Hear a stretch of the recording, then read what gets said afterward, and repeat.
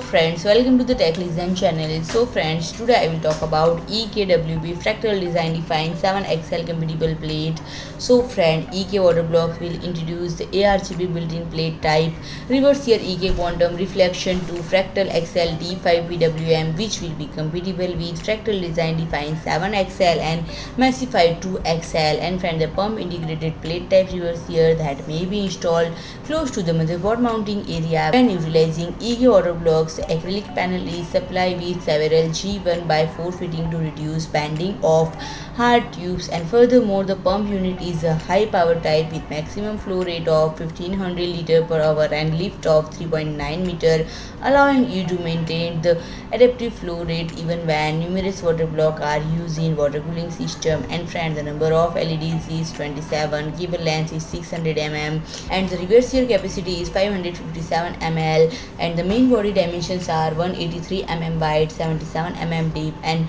490 mm tall and friend it will be available in early august and price is not mentioned yet so friends if you like my video please do like share and comment and don't forget to subscribe my channel and press the bell icon